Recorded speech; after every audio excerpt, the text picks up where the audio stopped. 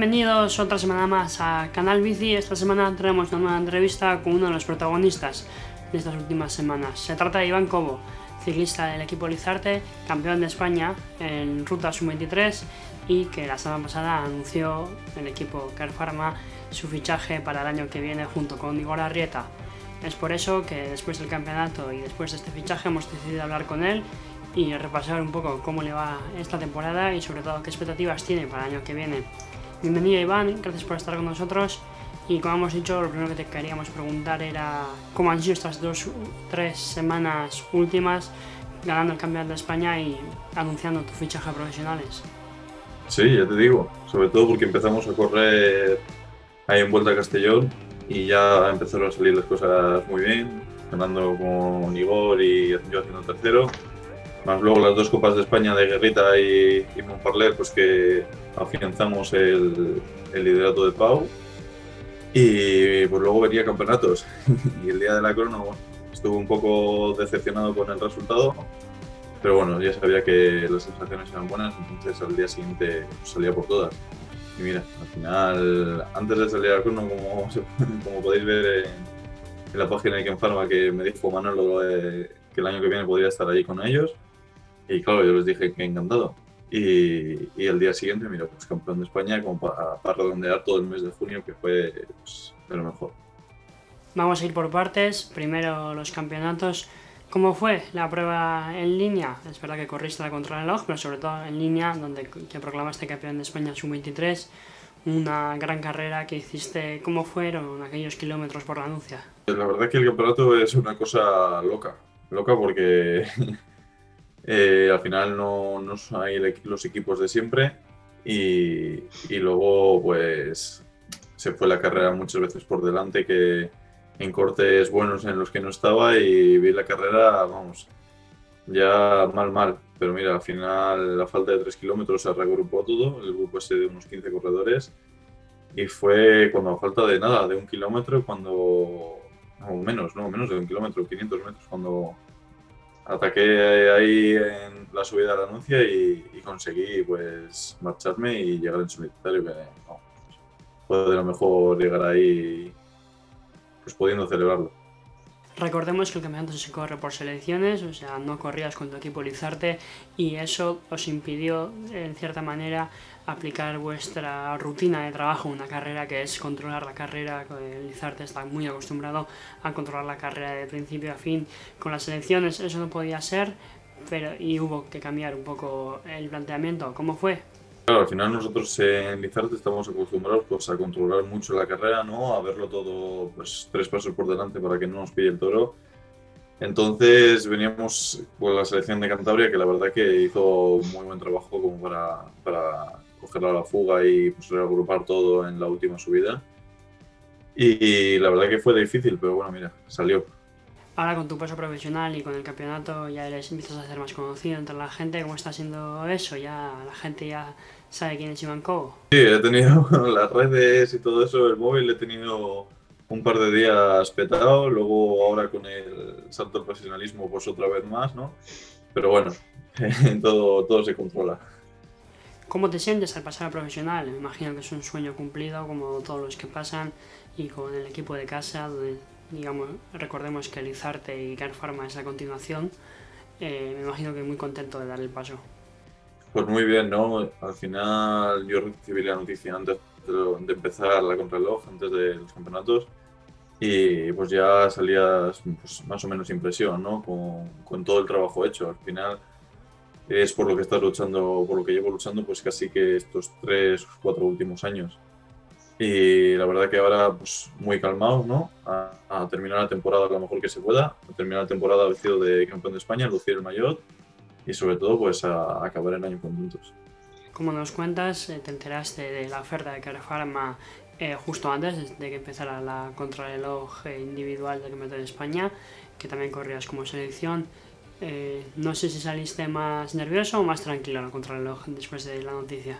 Yo al final Está, ahí el acrono está como un poco igual, ¿no? Tienes que reposarlo y pensarlo como para decir, vale, que el año que viene estoy profesional, ¿sabes? En, el momento, pues, fue como muy rápido, entonces no, no te paras a pensarlo como te puedes parar por la noche diciendo, hostia, mira lo que me ha dicho. Suponemos que a un campeón de España no le faltarán las ofertas. Eh, Pharma te lo propuso justo antes del campeonato, pero aún así seguramente haya alguna otra opción o oferta. Eh, aún así, has decidido Care Pharma era tu preferencia principal.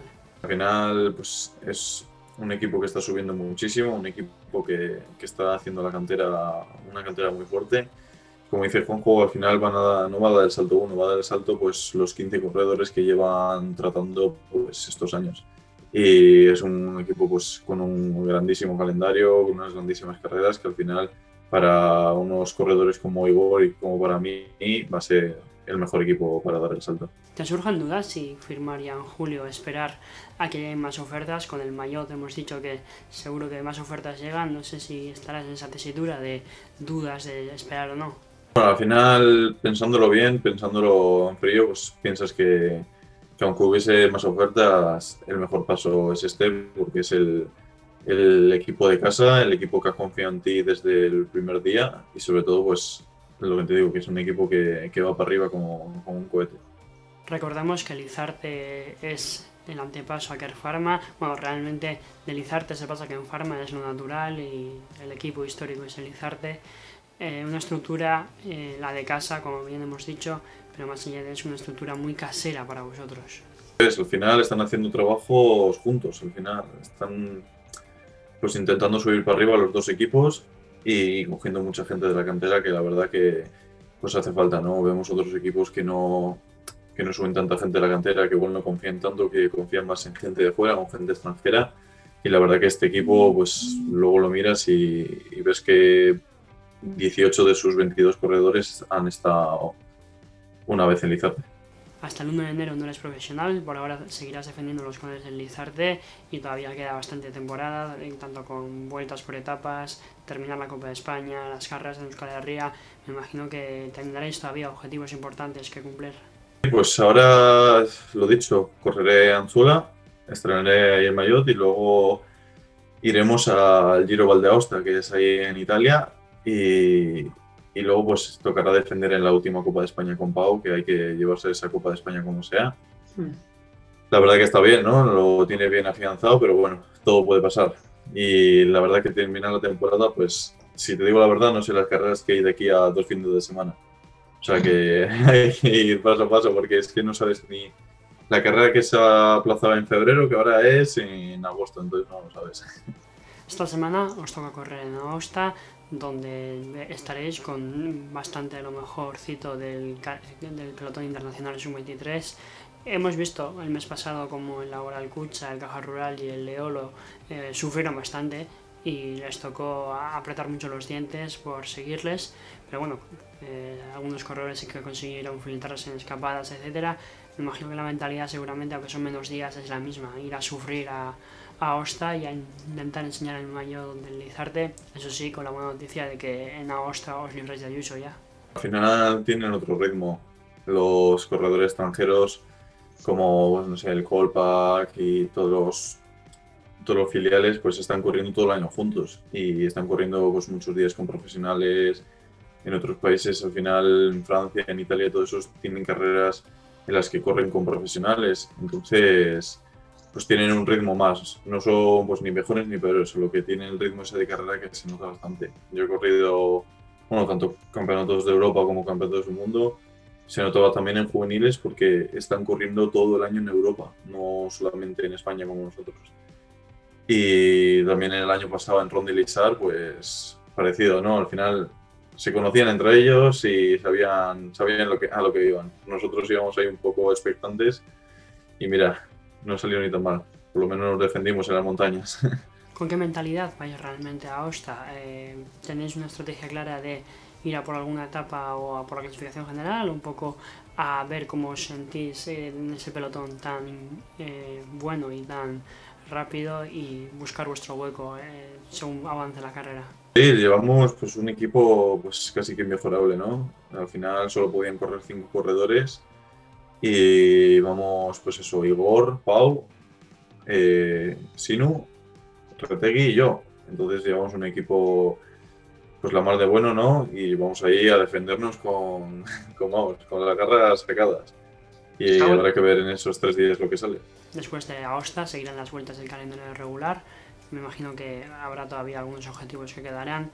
¿Cómo ves estas últimas carreras? ¿Qué objetivos y cómo lo miras? Es lo bueno, ¿no? Al final, bueno, casi toda la temporada estamos corriendo como, pues como una carrera normal, como una temporada normal, salvo nosotros, salvo Gorla que tuvimos un positivo en el equipo, pues lo hemos corrido todo. Yo he corrido pues casi todos los fines, salvo alguno que he descansado, pues porque la temporada lo quiere, ¿no? Y entonces habrá que terminar con ganas, porque llega el verano y hay que correr.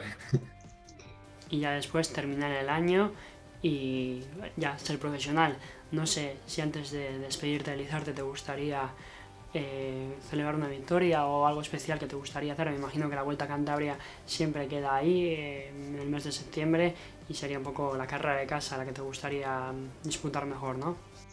yo con terminar igual de contento que estoy ahora me vale. El año pasado terminé un poco, pues mal, ¿no? Al final no terminé ni contento, ni con sensaciones buenas, ni nada. Al final terminar el año contento, terminar el año bien, que es lo que importa, y coger ganas para el año que viene que va a hacer falta pues muchas, muchas. Ya no ni ganando ni perdiendo, sino estar contento.